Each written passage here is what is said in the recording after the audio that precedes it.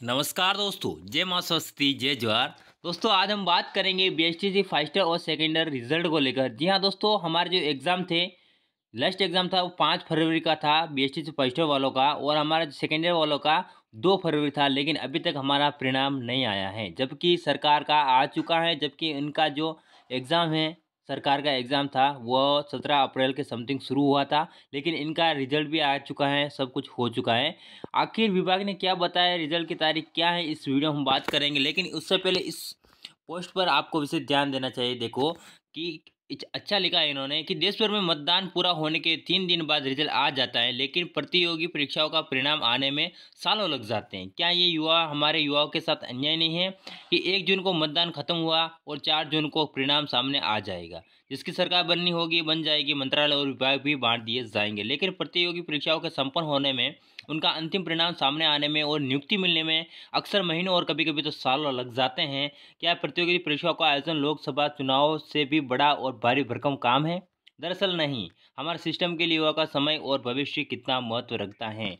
तो इनको सरकार को सिर्फ़ अपनी है, छात्रों की कुछ नहीं है। मैं ये नहीं कहता हूँ कि मैं किसी सरकार का विरोध ही नहीं कर रहा हूँ। वगैरह वगैरह। लेकिन आप समझ सकते हो, है ना? आप खुद देखो, आपका पाँच फरवरी को लास्ट एग्ज़ाम हुआ था, लेकिन अभी तक रिज़ल्ट नहीं आया। जबकि पिछली बार तो चुनाव नहीं थे तो रिज़ल्ट गाइस क्या है कि जल्दी आ चुका था अट्ठाईस दिन के अंदर अंदर लेकिन इस बार नहीं आए। अब हम बीकानेर विभाग से एक हैं हमारा दोस्त।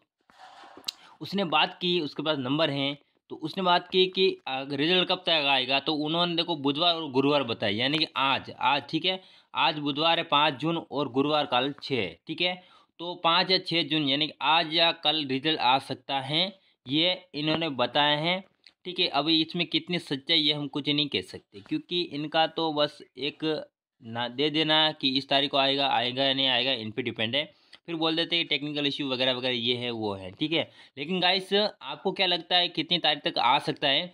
लेकिन पंद्रह जून से पहले पहले तो रिज़ल्ट फाइनल आना ही चाहिए हमारा।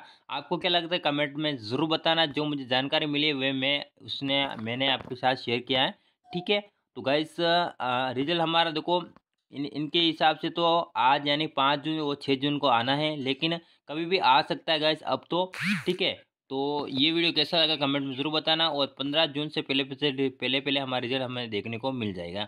आई होप वीडियो अच्छा लगा होगा, लाइक करना, शेयर करना और कमेंट सेक्शन में जय जवाहर ज़रूर लिखना। जय माँ सरस्वती, जय हिंद।